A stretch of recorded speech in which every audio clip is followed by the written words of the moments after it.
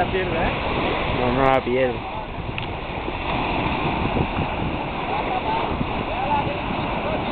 Queridos oyentes, que sepáis que la he pescado yo en realidad, lo que pasa es que le no tenido que la saque porque era fricción.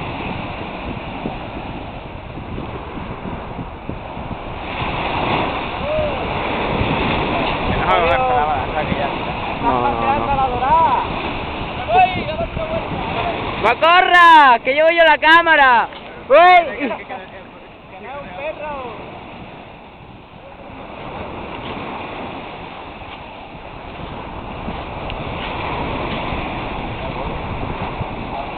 arriba.